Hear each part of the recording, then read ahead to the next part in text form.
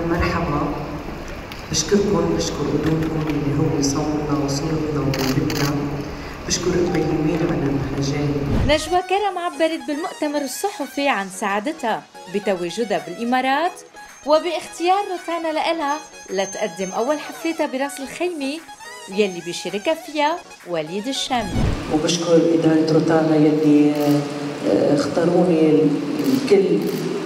لأني أكون بهيدي السنة عم نقطع من 12 على 20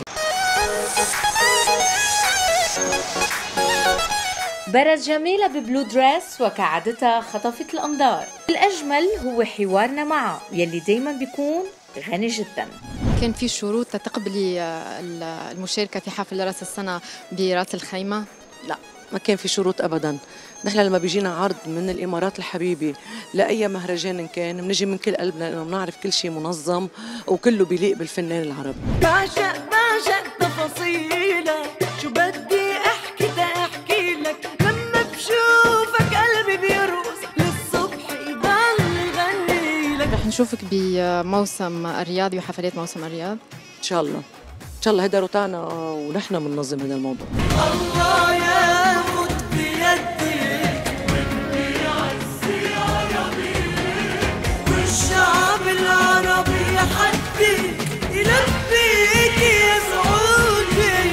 نشوفك بكليب أو بأغنية لايف مع الناس بالشارع مثل ما شفنا بالحمراء. بالإمارات ما بعرف بس آه، بعرف إنه شو الفكرة اللي لازم تكون ما لازم نكرر الأشياء. حتى تضل الناس تحس إنه شيء جديد. لأنه دائما المرة الأولى اللي بتعملي فيها شغلة وبتنجح كثير بضل عندنا خوف إنه الثاني يكون استنساخ. ملعون أبو العشق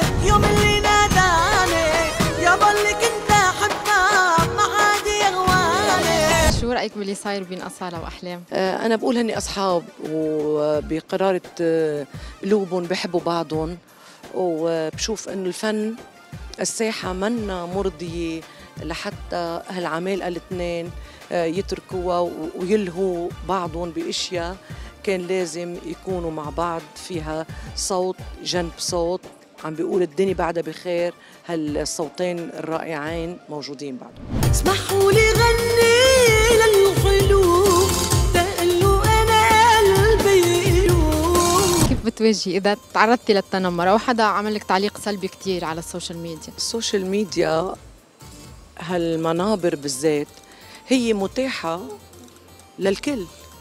في ناس على وعي وثقافة معينة إذا حكيت بتحكي بأصلها.